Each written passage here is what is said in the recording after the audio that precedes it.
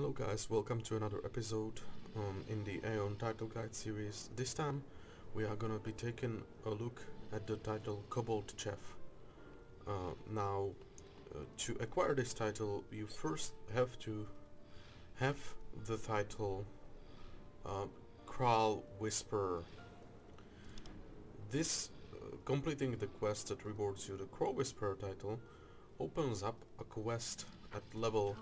32 in Eltnen in Mabanta's hideout right here called Mabanta's Feast.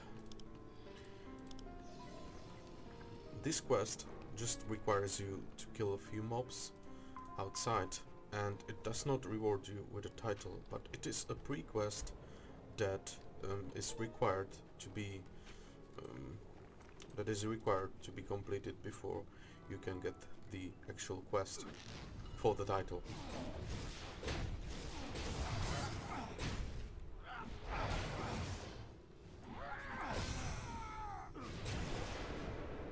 So just head straight out, not far from the hideout, and kill the marked mobs, collect uh, the ingredients that you need.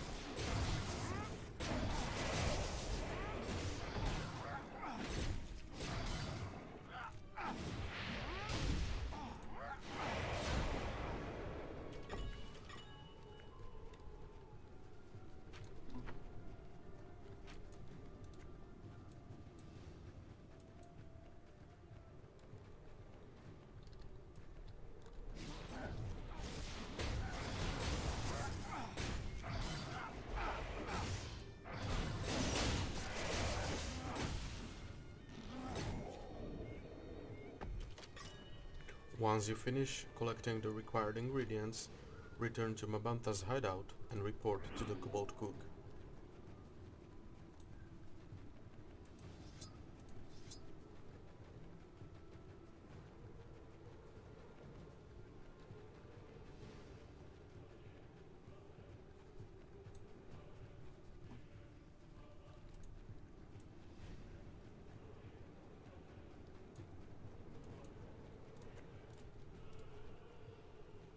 How are you? How are you? Regardless of your choice in the first quest, now the, the Kobold Cook will offer you a follow-up quest that rewards you with the title Kobold Chef. For this, you will have to collect a few more materials. You can get the Crestlich meat from any of the Crestliches around Eltnen. The Ruta can be either gathered with essence tapping or morphed from ether that you can buy from the NPC or just simply bought from the trade broker. Uh, the Wind Breeze Hot Spice and the Kukuru powder should be obtainable from uh, the Cook NPC in uh, Sanctum.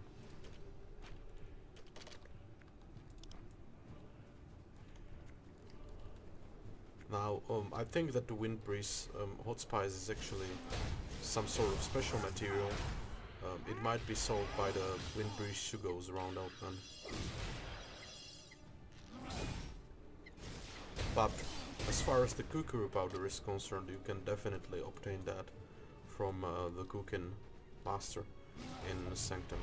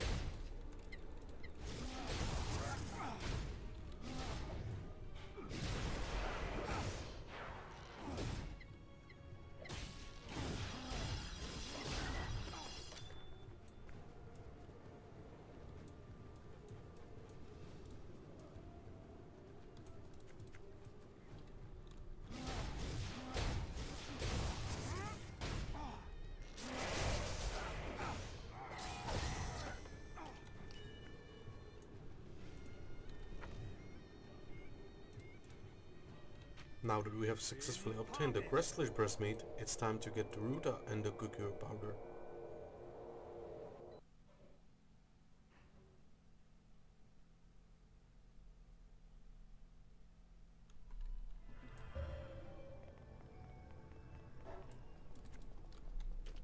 Shugos can always help. As you can see there is no Ruta here, so we will have to morph it ourselves. Which should not pose too much of a problem.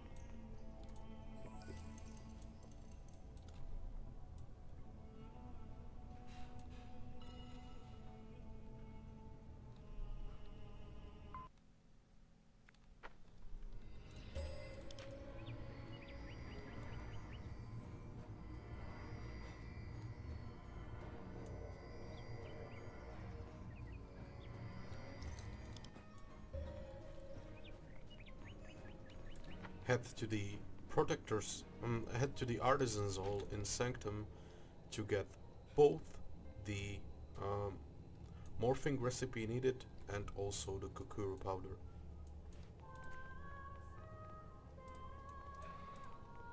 Have you business with me? There is the Kukuru powder.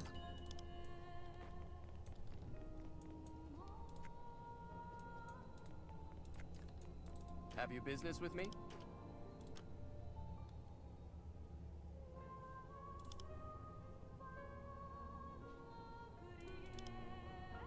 And here is the morph method for Ruta, for which we actually only need either crystals, which we can easily obtain from the material I merchant strive right for here. quality.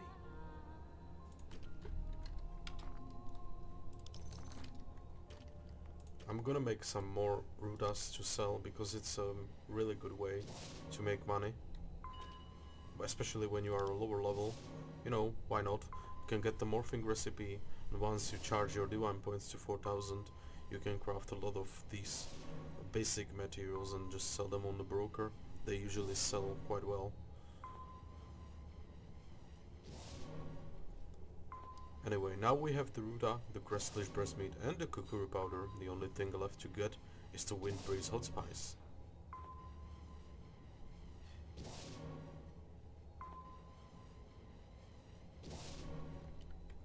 Now the Wind Breeze hot spice can be obtained from the NPC Ramorunerk, who is a merchant in uh, the Eracus Temple Cavern and he only spawns um, at certain locations at certain times. So hopefully we will be lucky enough to encounter him at one of his spawn locations.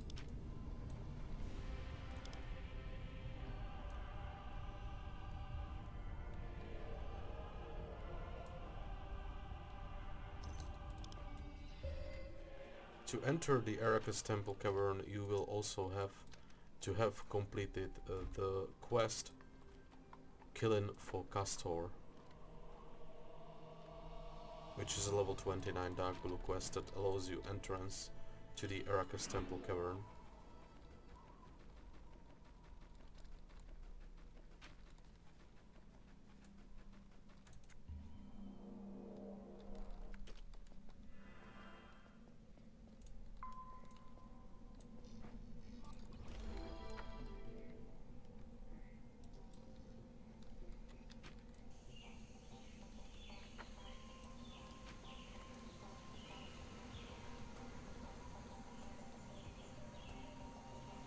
As you can see, he's right here Welcome. and he will sell us the wine breeze, wind breeze hot spice we need. He also sells some low level Asmodian armor skins. So if you do like these armor skins, you can go head to the Eracus Temple Cavern, pick them up yourself.